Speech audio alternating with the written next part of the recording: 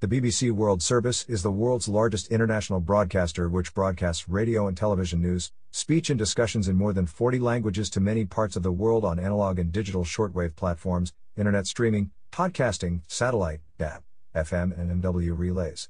In November 2016 the BBC announced again that it would start broadcasting in additional languages including Amharic and Igbo, in its biggest expansion since the 1940s. In 2015 World Service reached an average of 210 million people a week, via TV, radio, and online. The English language service broadcasts 24 hours a day.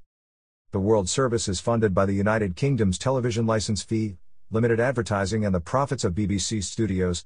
The service is also guaranteed £289 million, allocated over a five year period ending in 2020, from the UK government.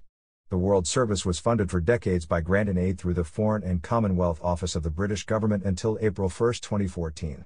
BBC World Service English maintains eight different regional feeds with several program variations, covering, respectively, East and South Africa, West and Central Africa, Europe and Middle East, Americas and Caribbean, East Asia, South Asia, Australasia, United Kingdom.